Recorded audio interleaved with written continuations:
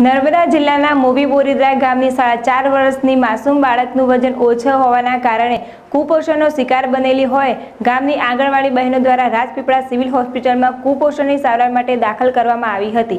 પરંતુ સિવિલ હોસ્પિટલમાં સારવાર કરવા બાળકીના પગની કસરત કરાવતા ડોક્ટરની બેદરકારીના કારણે પગનું હાડકું ભાંગી નાખતા સિવિલના તબીબો અને સ્ટાફની બેદરકારી સામે આવી છે.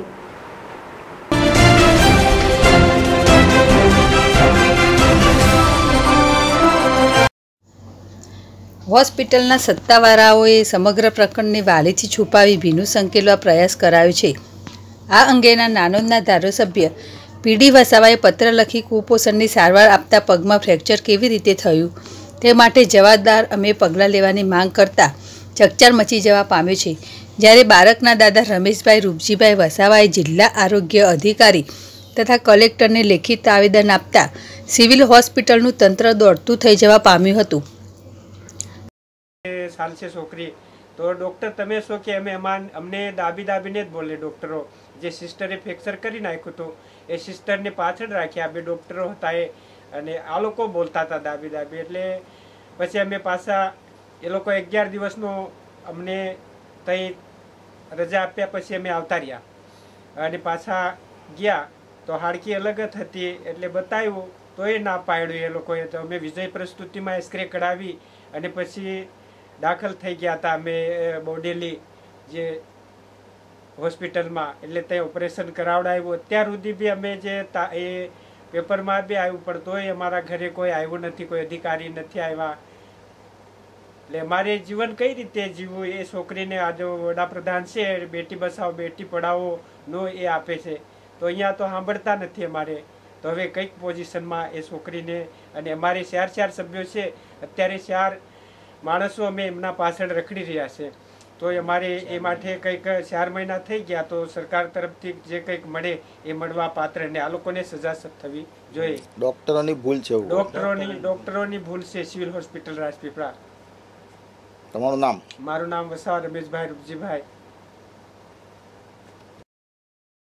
આ અંગે રમેશભાઈ વસાવાએ જણાવ્યું છે કે મારી પૌત્રી નમ્રતાબેન રાજેશભાઈ વસાવા ઉંમર વર્ષ ચાર રહે મૂવી બોરિદ્રા ને ઓછા વજનના કારણે તારીખ તેર ત્રણ ઓગણીસના રોજ બે મહિના પહેલાં રાજપીપળા સિવિલ હોસ્પિટલમાં દાખલ કરાઈ હતી જેમ તારીખ છવ્વીસ ત્રણ ઓગણીસના રોજ નમ્રતાની ફરજ પરના સ્ટાફની બેદરકારીના કારણે પગની કસરત કરવા જતાં જોરથી પગ વારવા જતાં ડાબો પગ ભાગી નાખતા પગમાં ફ્રેક્ચર થઈ ગયું હતું. દીકરી છે અમારા છોકરાની છોકરી આઠ સભ્યોમાં અમારી એકને એક દીકરી હતી. એ કુપોષણ માટે લઈ ગયા હતા સિવિલમાં. એ આંગણવાડીમાંથી કે વજન ઓછું હતું. તો આઠ દિવસ ને નવમા દિવસે બે હજાર તારીખ તેરના દિવસે એ લોકો દાખલ થયા હતા. અને ત્રેવીસ તારીખ છવ્વીસ છવ્વીસ ત્રણના રોજ સિસ્ટરે ફ્રેક્ચર કરી નાખ્યો હતો પગ અમે ડૉક્ટર સાહેબને કીધું, એ લોકોએ સિસ્ટર અને પટાવાળા હતા. એ બેયે આમ પર જમણી બાજુ પગ પલાટી કરી વાંકો કરીને બાંધી દીધો હતો. આ અંગે ફ્રેક્ચરમાં અક્ષરે પણ વાલીને બતાવી માહિતી છુપાવતા મામલો ગરમાયો હતો. દાદા રમેશભાઈએ આક્રોશ વ્યક્ત કરતા જણાવ્યું હતું કે, આ અંગે જવાબદાર કર્મચારીઓએ કોઈને જાણ પણ ન કરતા આ અંગે પૂછવા જતાં કોઈ સંતોષકારક જવાબ આપેલ નહીં અને અમારી સાથે ઉદ્ધતાભર્યું વર્તન કરેલ જ્યારે ખબર પડી કે પગમાં ફ્રેક્ચર થયેલ છે ત્યારે પૂછેલ કે ફ્રેક્ચર કેવી રીતે અને કયા કારણોસર થયેલ છે. તેમ પૂછતા અમને ડરાવી ધમકાવી આવી તારી દઈ સંતોષકારક જવાબ આપેલ નહીં. હોસ્પિટલના સત્તાવાળાઓની બેદરકારીથી ફ્રેક્ચર કરેલ હોવા છતાં કોઈ જવાબદારી લેવા તૈયાર નથી. માટે મારી છોકરી લઈ ગયા હતા. પછી એ એ લઈ ગયા હતા. પછી વજન કર્યું તો શું વજન કર્યું. કસરત કસરત કરવા જવું પડશે નીચે. એટલે એને મોકલેલા અને સિસ્ટરે મોકલેલા નીચે પછી રોજ દાડે જતા. પછી ત્યાં કસરત કરાવતા પછી એ કીધું એ કીધું કે આ છોકરીને તો કઠણ કરી દે કરે છે એ છોકરીઓ. ઢીલું નહીં રાખતા. એ કીધું. પછી એક દિવસે ગયા હતા તો આ છોકરીને બરોડા લઈ જવું પડશે એ કીધું તા આ સારી પછી આને કીધું કે આને આ આ લઈ. પછી એમ કીધું કે આ છોકરીને તો રોજ દાડે જવું પડશે એની કસરત કરાવવા. નવમા દિવસે પછી આવું કર્યું કે આ તમે બહાર જતા રહો. પછી આને કરી અમે કરીએ કસરત એવી એવું કીધું. પછી ખોરાક માટે લેવું પડશે તમારે એવું કીધું. પછી લઈ ગયા એને ભાગી નાખી પછી આમાં છોકરીને કરવું પડશે. શું ભાગી નાખ્યું? પછી સિસ્ટરે ભગ ભગ ભાંગી નાખ્યું એવું કીધું. પછી એને એને પછી સેવા આપવું પડશે. બોડેલી અને ઝાડા બહાર લઈ જવું પડશે એને તકલીફ થાય છે. તો ડોક ડોક્ટરને ભૂલ છે સજા થઈ છે. તમારું રેમીબેન રાજેશ્વર. અને એક્સરેના ફોટા માંગવા છતાં આપેલ નહીં તેમજ આજ દિન સુધી કોઈ સારવાર સર્ટી પણ આપેલ નહીં. અને ડૉક્ટરને મરવા જતાં વારંવાર ધક્કા ખવડાવેલ. અમે કોઈ સાંભળતું નહોતું અને કોઈ કાર્યવાહી ન કરવાની ધાક ધમકી આપેલ. આપણે અહીંયા જે બેઠા છીએ એ નર્મદા જિલ્લાના નાંદોદ તાલુકાનું એક નાનકડું મોવી બોલીદરા ગામ છે. આમાં આપણી બાજુમાં જે બેઠા છે આ દીકરીના પિતાશ્રી છે. દાદા.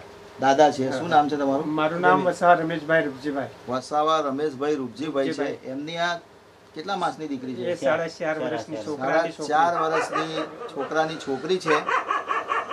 એ વજન ઓછું હોવાને કારણે કુપોષણ હોવાને કારણે ગામની આંગણવાડી મહિલાઓએ એને રાજપીપળા સિવિલ હોસ્પિટલમાં દાખલ કરી હતી.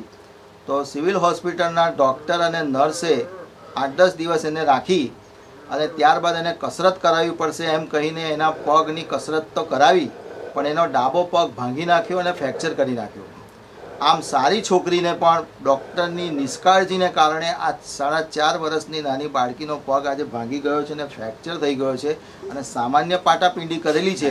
ફ્રેક્ચરની પાટાપિંડી કરેલી નથી.